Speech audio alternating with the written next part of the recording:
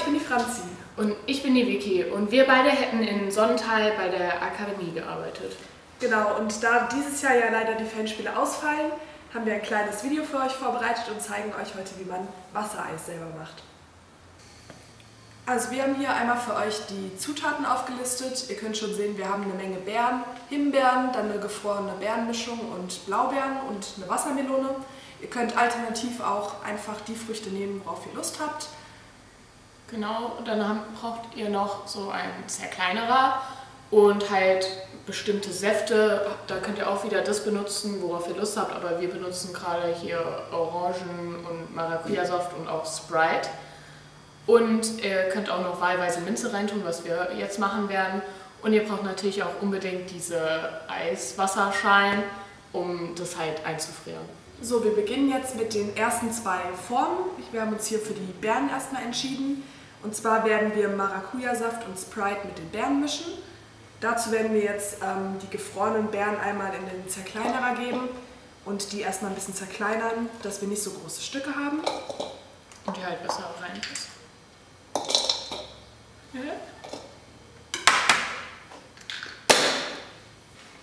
Also wenn ihr euch auch dafür entscheidet, die Beeren zu zerkleinern, dann fragt auf jeden Fall bitte nochmal eure Eltern um Hilfe, damit nichts schief geht. Und wir haben jetzt einfach die Beeren hier reingetan und werden die jetzt einfach zerkleinern, um die dann in die Schalen reinzutun.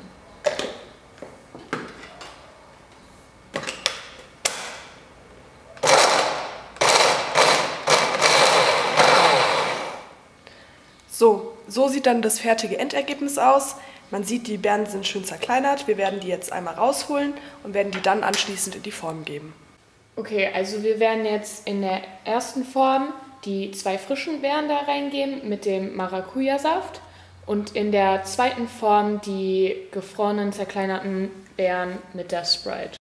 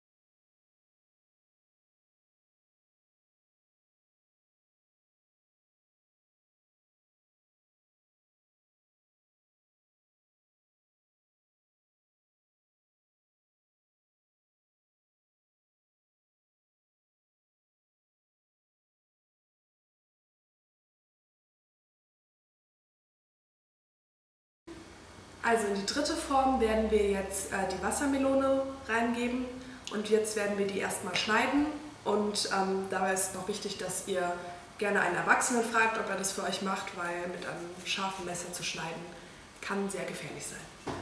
Also wir haben jetzt einfach die Wassermelone in kleine Stückchen geschnitten und die kommt jetzt auch wieder in den Mixer rein, um die zu pürieren.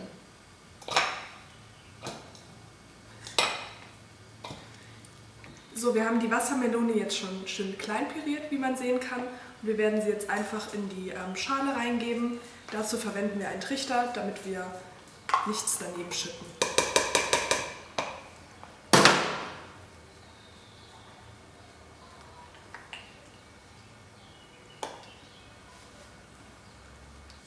Also um das Wassermeloneis so ein bisschen frischer zu machen, könnt ihr auch einfach ein paar Minzeblätter nehmen, die einfach auch noch da mit reintun und dann wird alles noch ein bisschen frischer.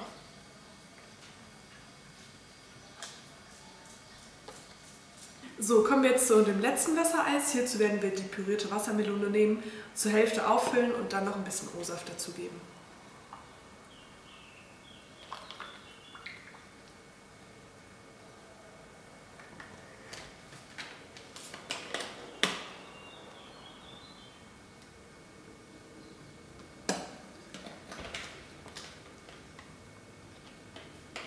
So, wir haben jetzt die Formen in die Gefriertruhe getan und die müssen da mindestens drei Stunden bleiben.